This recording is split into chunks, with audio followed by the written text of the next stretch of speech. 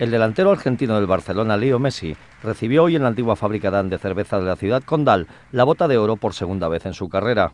Messi, que recibió el trofeo de manos del exfutbolista Luis Suárez, único español que ha ganado el dorado trofeo en toda la historia, aseguró que también es un premio para sus compañeros, sin quienes no habría podido marcar los 50 tantos que consiguió la temporada pasada.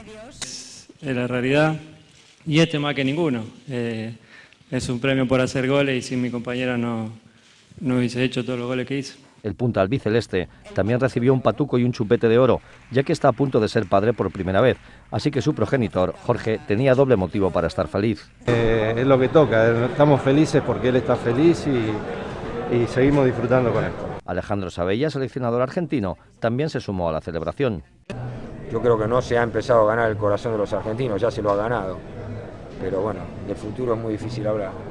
Tito Vilanova, entrenador del Barcelona, rindió su propio homenaje al jugador. Creo que no volveremos a ver a un jugador como este y no sé si, si lo volvemos a ver lo que tardaremos en verlo. Messi no deja indiferente a nadie.